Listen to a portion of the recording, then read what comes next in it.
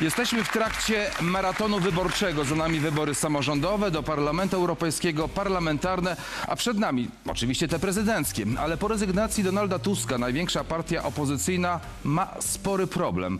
We wtorek mija termin zgłoszenia kandydatur w prawyborach prezydenckich, no właśnie w Platformie Obywatelskiej, ale poza Małgorzatą Kidawą-Błońską nikt się nie zgłosił.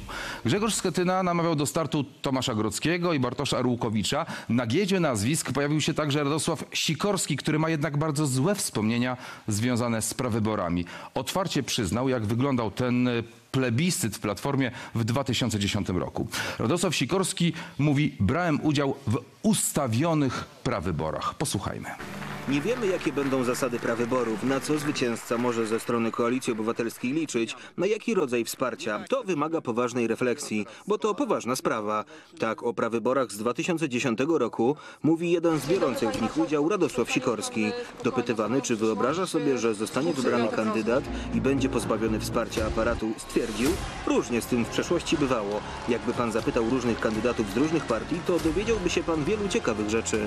Zdaniem eurodeputowanego Platformy, prawybory, w których pokonał go Bronisław Komorowski, były ustawione. Prawybory zaczynają się za tydzień. Zastanawiam się, czy to będzie proces fair, bo w ustawionych prawyborach już brałem udział, stwierdził Sikorski.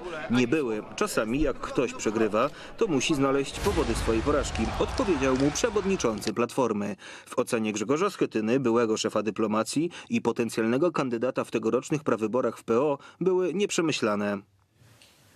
I właśnie o tym, proszę Państwa, między innymi będziemy dziś mówić. Czekamy, tak jak zawsze, na Państwa opinie i komentarze. I tak jak zawsze zapraszamy do dyskusji na Twitterze i na naszym profilu na Facebooku, hashtag Strefa Starcia.